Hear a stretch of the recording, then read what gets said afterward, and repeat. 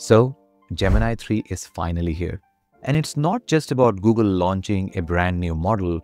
If you really think about the announcement, it almost is Google overhauling their entire ecosystem.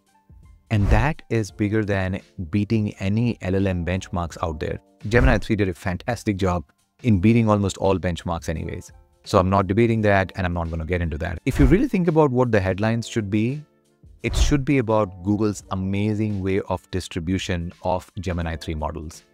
If you think about the overall ecosystem, right, you could think of Google's ecosystem in three layers. Now, number one is the consumer layer, which is where this is for the first time when they have launched a Gemini model on day one in Google search.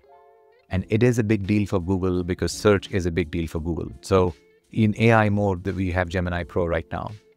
The second one is your Gemini app. So you already have the Gemini Pro in the Gemini app. The second layer is the enterprise layer, right? So that is where Gemini 3 is already available in Google Cloud's Vertex AI. It is also available already in the enterprise solution, which is Gemini Enterprise. And the third layer, and that is where I'm really excited about some of the announcements, is the developer layer. And that's where they have got this in Firebase Studio, they have got this in Android Studio, and they have launched a brand new agentic first IDE, which is Google Anti-Gravity. And in this video, I'm going to go into much more details around that and do demos and really test it out to see how cool it is and if it is different or not compared to some of the uh, existing amazing tools like Cursor and others as well. So let's dive in and look into Google Anti-Gravity and run some of the demos and see how the results come out to be. All right, so what you're seeing on the screen is the default screen of anti-gravity. And you might already see that this looks very similar to some of the IDs out there, such as VS Code, Cursor, and it has got a little bit of an agentic workflow here as well. But things start to get pretty interesting when you switch to something called as the Agent Manager. And the Agent Manager is the approach which Google is taking where the idea is to have multiple parallel conversations with agents and simultaneously working on multiple different projects, right? So the default here is something they have termed it as playgrounds. As you can see that these are independent workspaces, but then you can actually create multiple workspaces and start working on those individual projects per se, right? And then workspaces is where your files get saved, but playground is where you can start something pretty quickly. And then once you're satisfied, then you can move your files into the playground. So we are going to create something pretty quickly here. And I'm not going to start with a simple task because I really want to see if this can take the agentic mode and get to an answer. So I want to build something like a no code machine learning SaaS application where I want I want it to allow the user to upload a bunch of their files and then just select the objective and then it needs to go figure out the right algorithms for us and then it needs to run the machine learning behind the scene, the actual machine learning using scikit-learn, etc and then give us some evaluation criteria and visualizations. It's not a straightforward ask and I want to see how this goes, right? So I'm starting with the planning mode here. There are two modes available here. One is the planning and one is the fast. I want to look at the plan first and see how it performs, right? So off you go. I've asked it to start building and it is starting to think. And here we're using the Gemini 3 Pro version.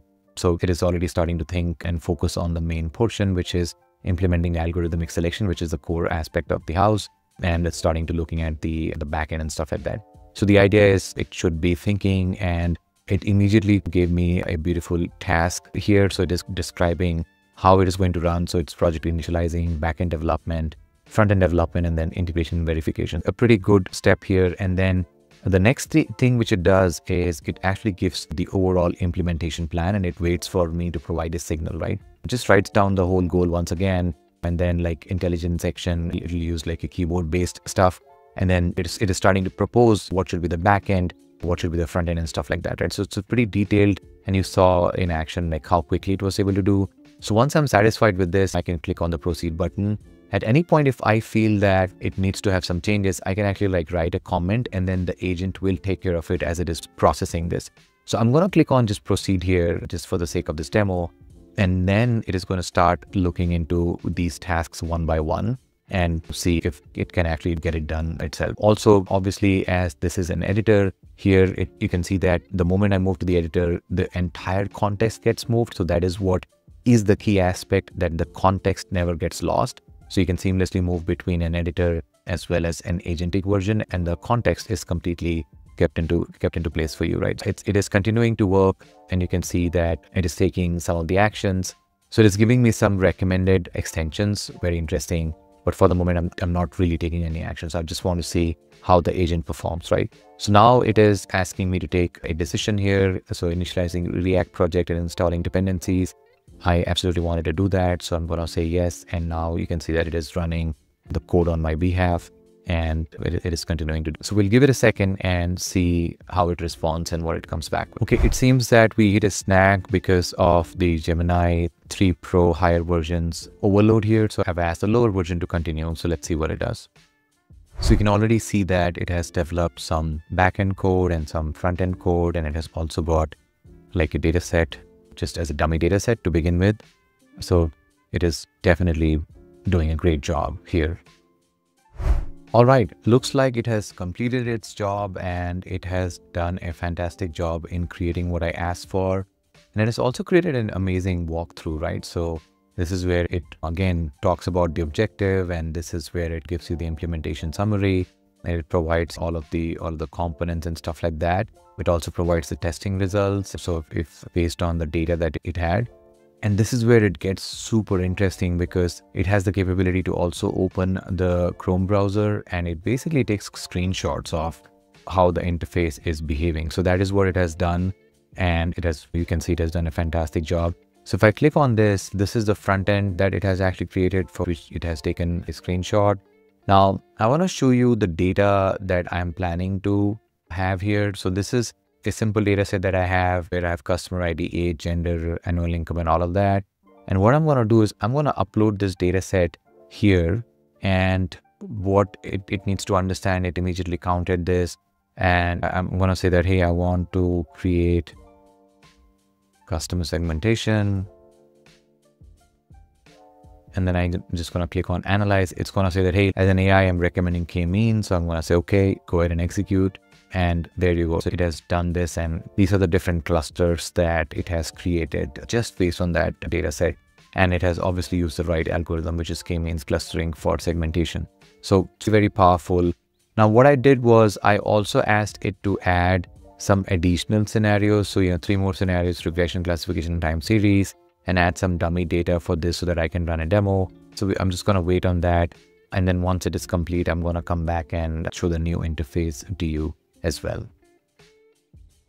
All right, seems like it has done its job. And again, a cool thing here is it can record the whole browser activity, which you're seeing over here.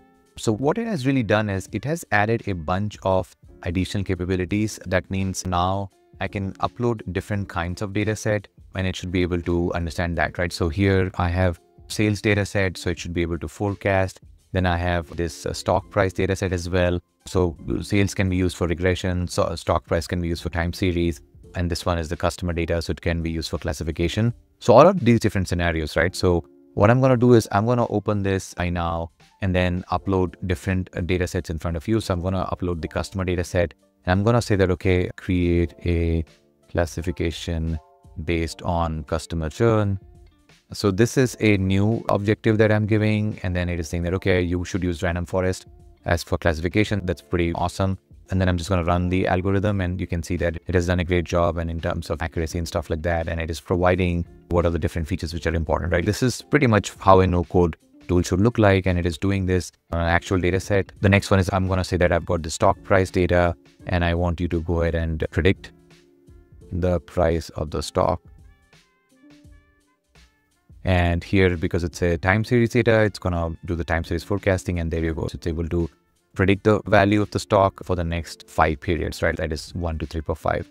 So that's pretty much what I wanted here. It has taken scikit-learn, which is the the Python library, which has some amazing machine learning algorithms, and I wanted it to be real. And that was the test I wanted it to give, right? So here you can see that the amount of code that it has written, and it is actually using it has created like uh, the actual data sets that I could use and it has already done the testing and stuff like that in the background. So does a pretty good job in terms of really creating multiple different artifacts, creating like plan, the whole plan. It also gave us like an implementation scenario. So really the way Google is approaching this and really help developers or people who don't even have a strong coding background, like this is where I could go ahead and really understand what it is doing in the backend and then play with it. And in the meanwhile, like if I had ran like multiple other agents, then it would have it would have given me that where it is in terms of the other conversation that it is having. So this is what I wanted to show you today. This is one of the core announcements as part of this whole Gemini 3. And I'm going to continue building and showcasing some more interesting demos. For example, the next one that I'm thinking, which is can I build an ADK based agent using anti-gravity? So in the, in the previous one, I'd already created an ADK agent using Visual Builder. But now since we have a new announcement here, I want to then use this to create an ADK agent and then maybe connect it to a UI, custom UI, right? So probably would be much more easier here. For that, let's wait for the next video. But I hope this was helpful and valuable. You got to see this new anti-gravity interface and we ran an end-to-end -end demo of how an interface look, will look like and how UI would look like, right? So then once we're satisfied, we can deploy this to production and we can just simply ask the agent here to do that for us. Okay. So if you like the video, as always, please hit that like button and please do subscribe. Thank you for taking the time to watch this video. I will see you in the next one.